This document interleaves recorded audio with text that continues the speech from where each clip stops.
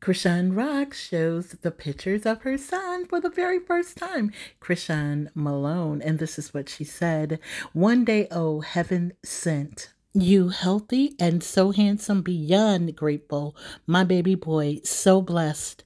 Thank you, Jesus. At Chrisean Malone Jr.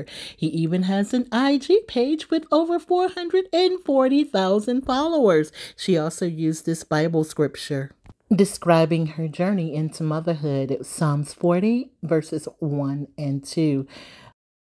I was patient while I waited for the Lord to help me. He turned towards me and he heard me when I called him. He lifted me out of the deep hole of danger. He picked me up out of the mud. He put my feet on a rock.